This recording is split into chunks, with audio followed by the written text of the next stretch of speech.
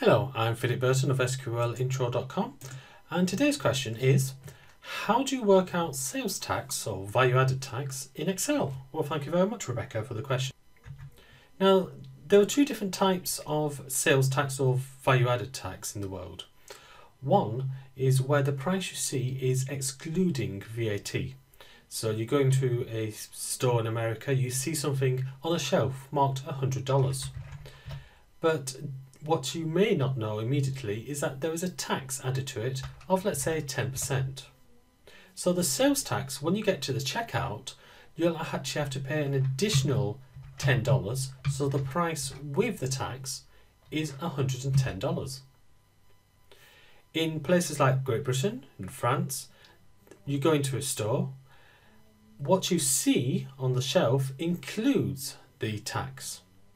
So this means that businesses have to work out how much VAT they've got, whether it is recoverable, and then recover it. So how do you work all of this out in Excel? Well, let's go the way from the price without the tax to the price with the tax. So first of all, the price without the tax, let's say, is $100 and the tax rate, let's say 15%. So the sales tax is equal to the price without the tax multiplied by the tax rate. So $15 in this case. So the price with the tax is therefore equal to the price without the tax plus the sales tax, $115. Or another way of expressing that is the price without the tax multiplied by, and in brackets, 1 plus the tax rate. So the 1 indicates the full price, the price without the tax, and the tax rate is, in this case, the price without the tax multiplied by the tax rate percent. So eventually we're getting to 100 times 1.15, 1 plus 15%. That gets us to the 115.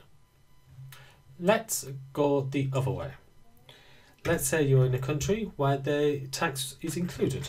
So let's say it's $200 and we have a tax rate of 20%.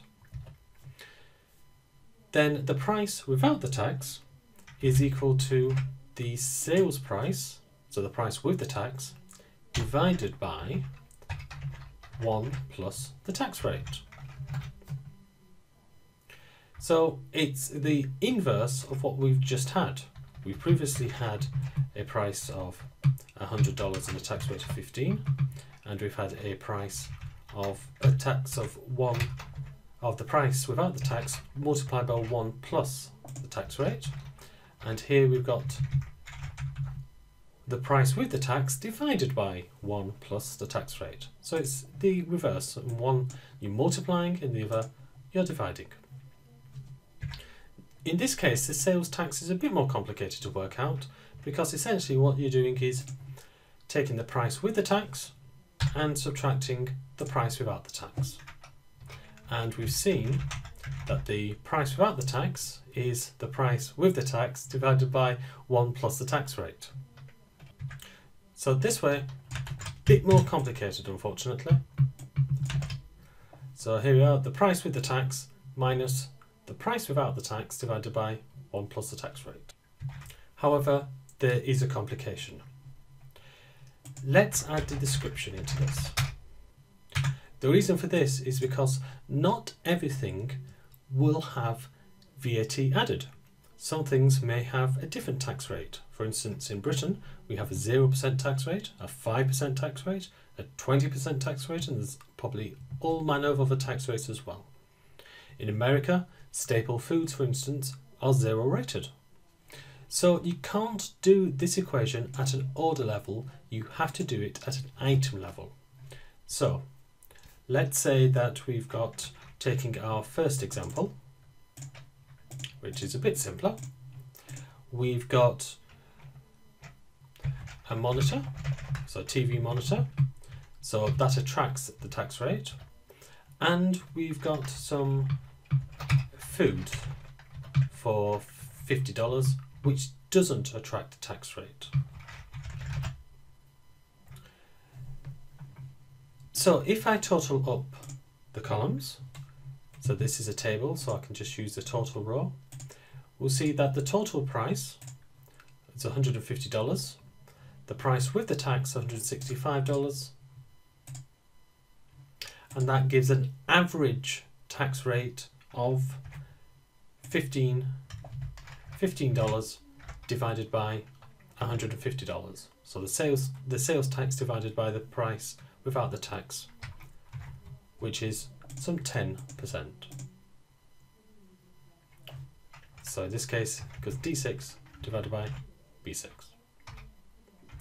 So what you mustn't do is make sure is use the tax rate as uniform throughout an order because there will be some items which will be zero rated and others which may be taxed at a different rate. So we've got two ways of working at the tax depending if you're going from the price without the tax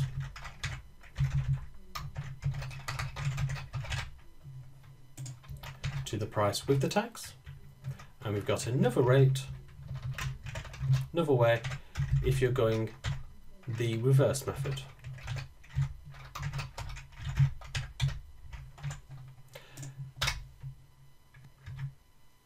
So, thank you very much for watching this video.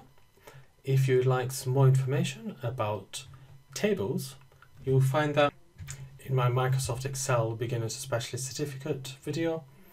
And this course will have lots of things on creating and modifying tables.